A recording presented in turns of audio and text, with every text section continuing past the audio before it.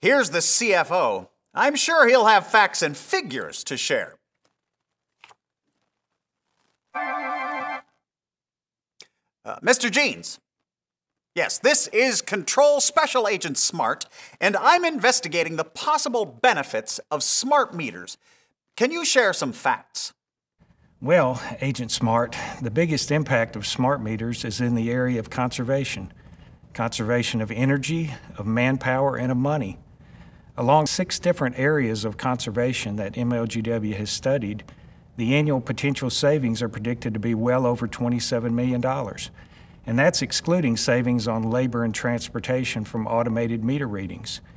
These are cost benefits for MLGW and for our customers, not to mention the benefit of conservation of energy and resources. There's no doubt smart meters will positively impact the Memphis economy.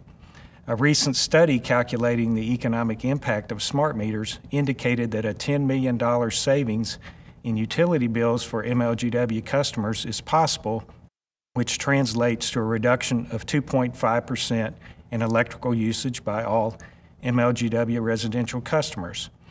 Mr. Jeanes, are there any facts to support this cost benefit? Evidence that this is achievable is backed by results from the three-year 1,000 volunteer smart grid demonstration project. Results showed a 2.3% reduction in electric consumption alone. Reducing energy consumption and thereby customers' utility bills means more disposable income for Memphis and Shelby County residents and potentially more jobs for our local economy. The bottom line is that smart meters provide greater access to information for MLGW and our customers, allowing all of us to make better decisions about conservation of resources, time, and money. And facts are information. Thank you, Mr. Greens. Uh, I mean, Mr. Jeanes. Thank you. Thank you. Thank you very much.